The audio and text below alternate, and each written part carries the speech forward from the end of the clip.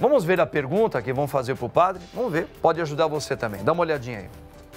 Padre, quando eu rezo, só consigo falar coisas que vêm no meu coração. Não rezo uma Ave Maria ou um Pai Nosso, por exemplo.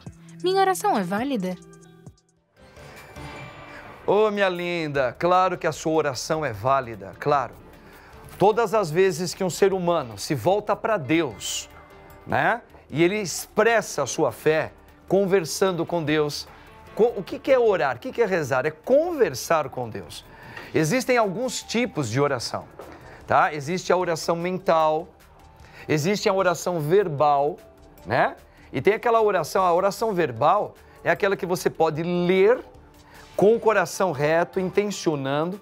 Tem gente que lê, faz oração. Por exemplo, a liturgia das horas, que nós padres e leigos também podem rezar.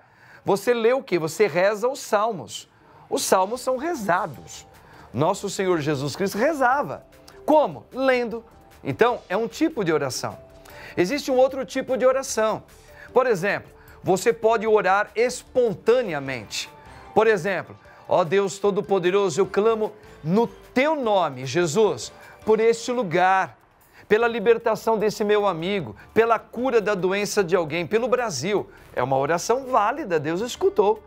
Ou então você pode rezar as orações escritas e decoradas. Ave Maria, cheia de graça, Pai nosso, crê em Deus Pai.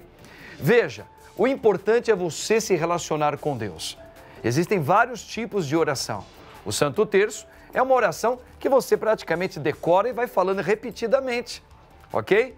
Então é válido sim, minha linda, tá bom? Deus abençoe você, obrigado pela pergunta. Tamo juntos aí.